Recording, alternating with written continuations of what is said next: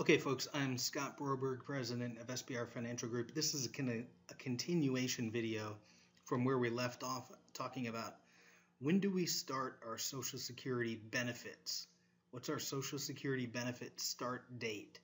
And you'll notice we ended up with a picture that looks something like this, which said everybody uh, has a full, what's called a full retirement age, FRA, and if you decide to begin your Social Security benefits prior to re- reaching your full retirement age, well, you'll end up getting a reduced amount.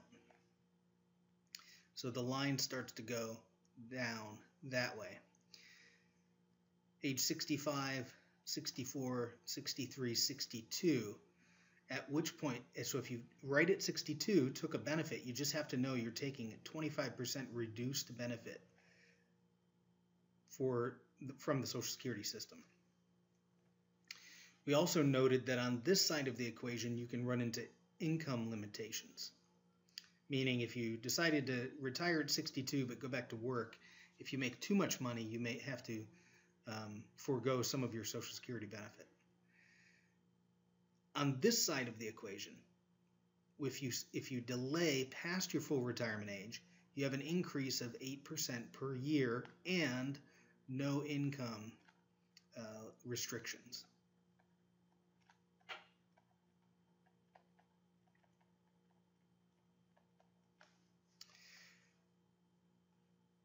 Until you get to age 70 where it maxes out, and in this case, $1,320 would have been if we were using a, the hypothetical starting at, at $1,000. Now, one of the critical pieces that you're going to want to use to to decide do I take it early? Do I take it late? Because you could say, well, look, if I took it at 62, that's eight years of receiving a benefit of having that time that that benefit comes out. And that's absolutely true. But what we want to know is what your life expectancy is. People are living longer these days, and you really want to look at your family history.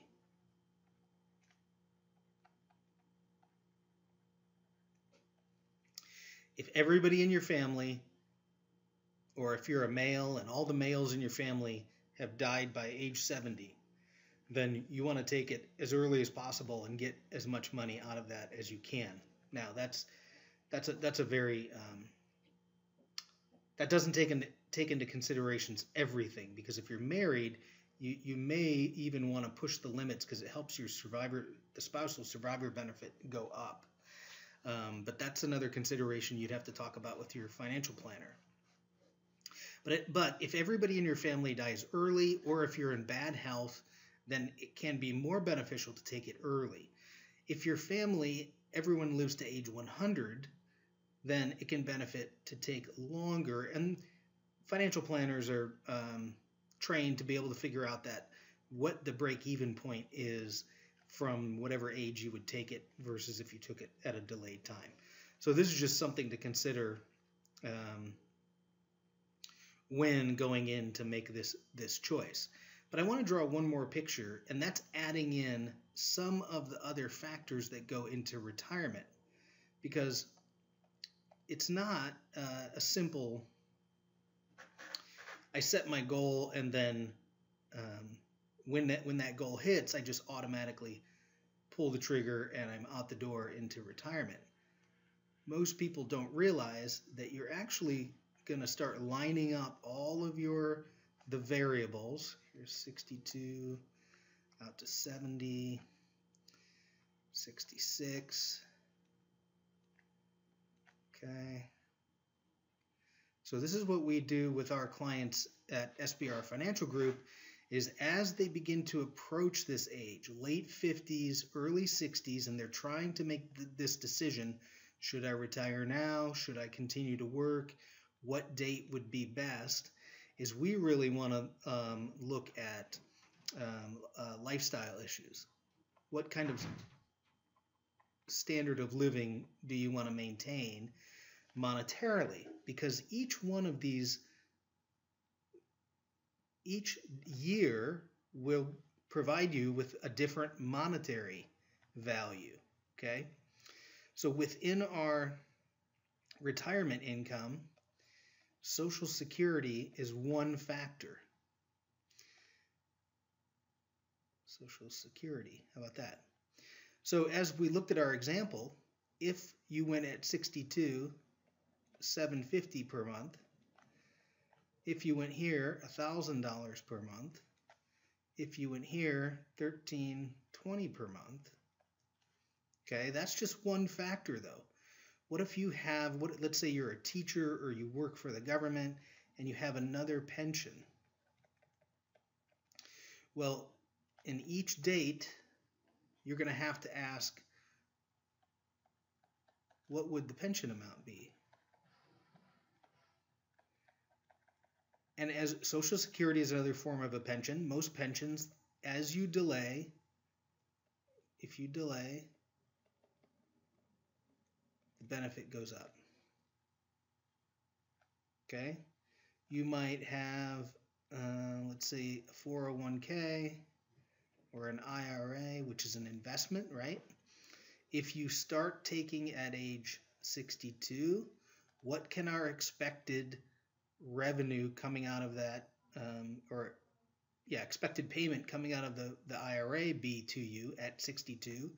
What can the expected be at 66? What can the expected be at 70?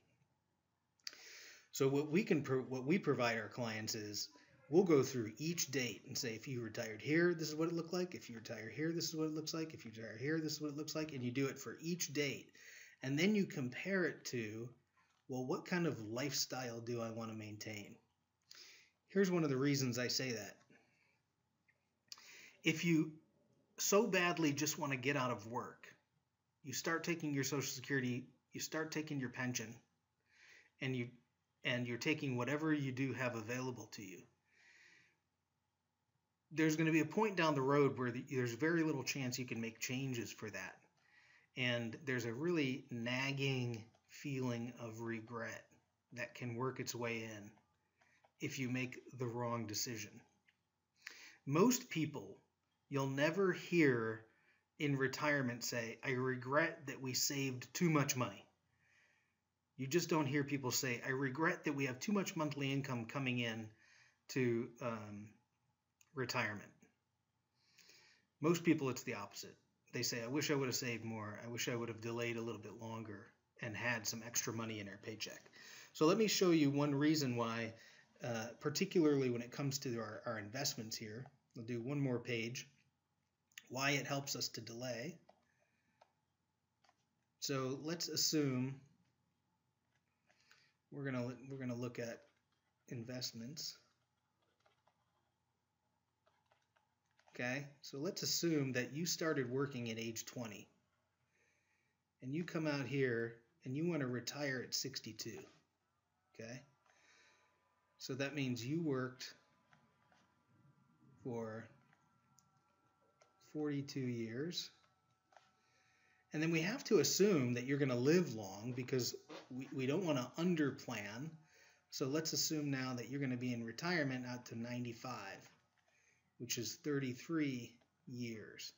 That's a long time to be living off of Social Security, of any pensions, or investments that you have.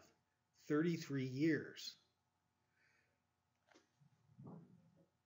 So if you were to then decide, you know what, I'm going to delay this, I'm going to move this out and either go to 65, maybe even 70. You notice now we only have 25 years of spending 30 years of spending. And what happened before that, if you continued to work, right? One, continued savings. So you save more of your money.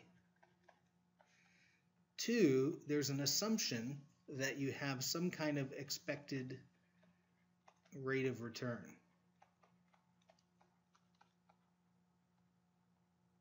So growth of investments.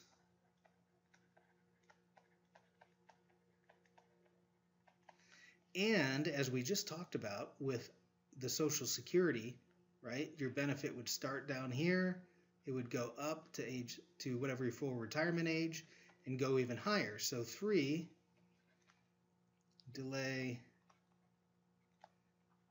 social security.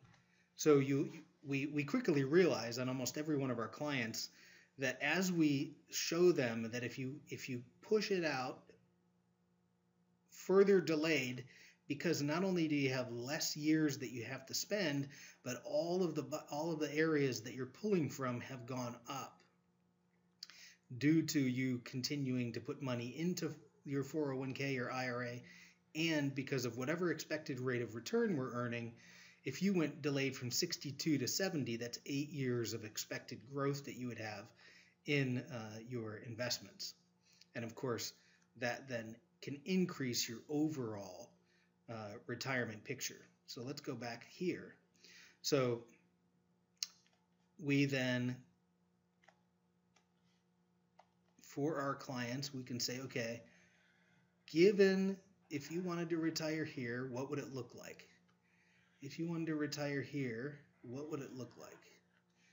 If you wanted to retire here, what would it look like? And what you'll notice is if we mapped out these numbers, that it essentially, if this was the overall picture, they their their retirement spending lifestyle goes up, could go up from 62 to 70 based on all the things we've talked about. So it's really important that as you're you're approaching this retirement decision, that you're looking at every single year available to you, doing the calculations. That's what you're paying your financial planner for to do that. And then helping you choose the one that really you're not going to be living in regret that you didn't save a little bit more or delay a little bit longer so that your lifestyle could be a little bit better. So if you want to learn more about retirement planning, retirement savings, or Social Security issues, you can go to our website, sbrfinancialgroup.com. You can also check our other videos um, about retirement uh, in, uh, here in all of our, uh, our video series. Okay, we'll see you next time in the video.